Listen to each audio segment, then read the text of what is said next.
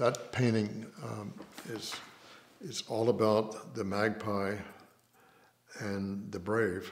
And if- you're, if you're looking at this and you hear this, you'll see the patterns on his blanket and the pattern on the magpie's wing, they're the same.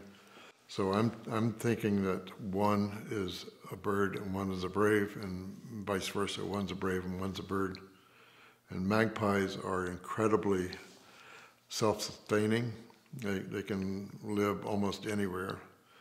But the strongest part of the painting to me is the two profiles and the iridescent blue-green on the magpie's back. If you've ever seen one in the sunlight, it's, it's like, uh, it's just like a jewel.